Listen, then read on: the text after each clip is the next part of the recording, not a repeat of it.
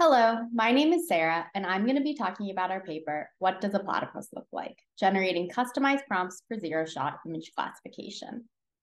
First, I want to go into a little detail about zero-shot image classification with models like CLIP.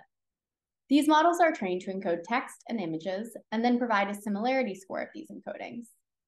To use CLIP for image classification, the authors of the original CLIP paper proposed a method in which they handwrite prompt templates which are designed to look like image captions. They then complete each of these templates with the names of the categories in the dataset. The image is categorized based on which caption encoding most closely matches the image encoding. This approach to image classification comes with a few challenges. The first is that the prompt templates are not able to capture any visual details about the categories, which can contain useful identifying features. The second challenge is actually in writing the prompt templates. As an example, here are all the prompt templates that are ensembled together in the original CLIP paper for ImageNet. Handwriting all these templates for a single dataset is a time-consuming process. The final challenge to this approach is that we often need to know information about the data distribution in order to write effective prompt templates. For example, ImageNet contains some images which are toy representations of the given category, and therefore also contains the toy blank as a prompt template. So in summary, we want a method for creating these captions that addresses these challenges. In particular, we want our captions to contain specific visual information, require fewer handwritten sentences, and not use prior knowledge about the data distribution. And we want all of these things while still maintaining or increasing the accuracy of the model. In this work, we achieve this using a large language model. So instead of the standard setup where we use prompt templates, we are simply going to ask an LLM to provide a description or multiple descriptions of our image categories. We are then going to replace our handwritten templates with the output of our LLM. We call this method Customized Prompts via Language Models, or CUPL for short. The LLMs generate rich visual descriptions that contain much more information than those original templates. For this method, we do still have a bit of prompt engineering.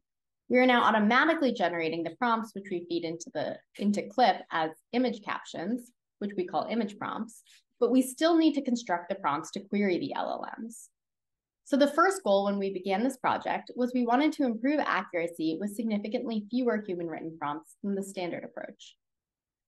So let's look at the prompts used in the standard method for a small selection of datasets, including the 80 I previously showed that are used for ImageNet.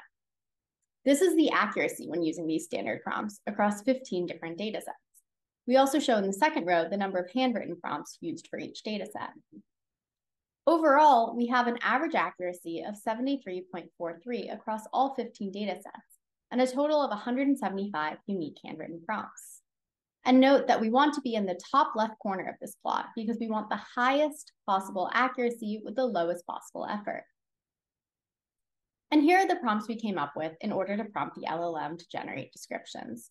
So we have five for ImageNet, four for Kinetic 700, and two for aircrafts. And we did this for 15 different data sets, and here are our results.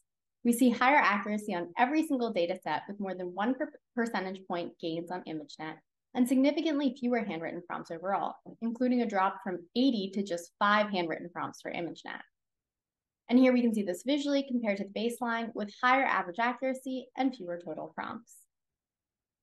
While this setting significantly reduced the need for prompt engineering, we also wanted to offer a setting which requires no new prompt engineering for new data sets at all. So we created the CUPL base setting, which uses the same three prompts across every single data set. And we found that this beats the baseline setting on all but two data sets. Here's CUPL base in relation to CUPL full and the standard setting. CUPL full maximizes accuracy, while CUPL base minimizes effort.